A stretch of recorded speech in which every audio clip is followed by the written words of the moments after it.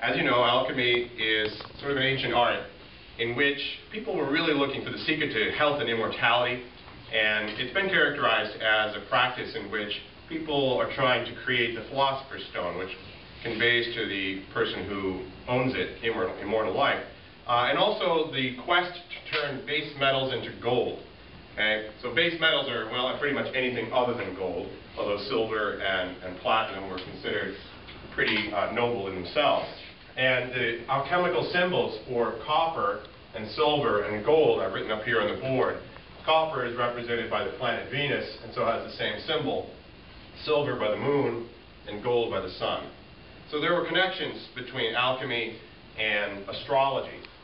And what I'm going to do is I'm going to simulate a process in which uh, you take copper pennies and turn them into silver pennies, and then turn them into gold pennies.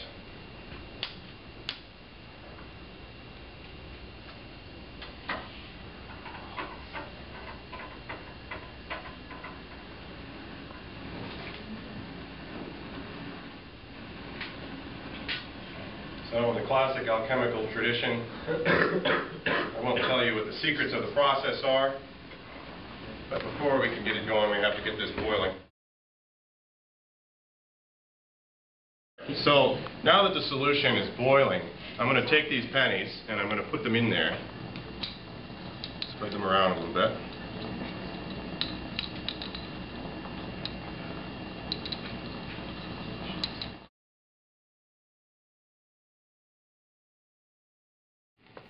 In a process that takes a little bit of time, the pennies are now in contact with pieces of zinc in a strong solution of sodium hydroxide. It must be heated strongly to make the reaction happen quickly enough for it to be useful in a demonstration. Even so, with so many pennies in the beaker, it's taking quite a while. As you can see, the pennies have already begun to take on a silver color.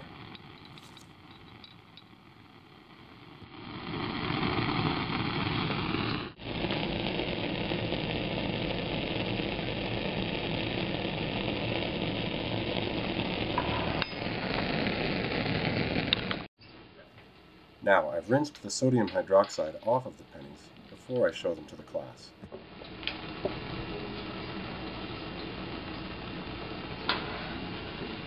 As you can see, I can turn copper into silver. Get out. Way out. which is pretty amazing. But I can take the process one alchemical step further and turn silver into gold. And what, of course, could be more magical than flame? What I'm going to do next is take each penny, and I want to turn from silver into gold. Okay, that's a little too much of a close-up, I think. I'm going to take each penny that I'm going to turn from silver into gold, put it in the fire. Oh.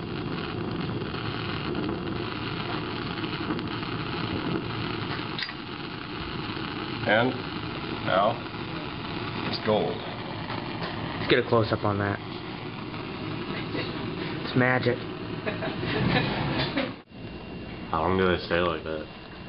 Once I turn them to gold, they'll stay like that for quite a long time. If you use the penny, it will eventually wear off because it is, of course, not really gold. What I've done instead is I put it in that solution and heated it up so the reaction would be quick enough. Uh, I coated it first with zinc. So it was not really silver, it was zinc. But it was just a thin, thin coating on top of the copper. And then when I heat it in the flame, zinc has a melting point of around 400 degrees. And when you put it in the flame, it actually melts the zinc. And it dissolves a little bit of the copper in the surface of the penny.